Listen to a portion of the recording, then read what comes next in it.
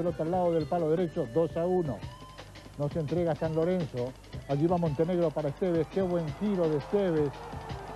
Domina la pelota, gira y le pega. Así con la derecha.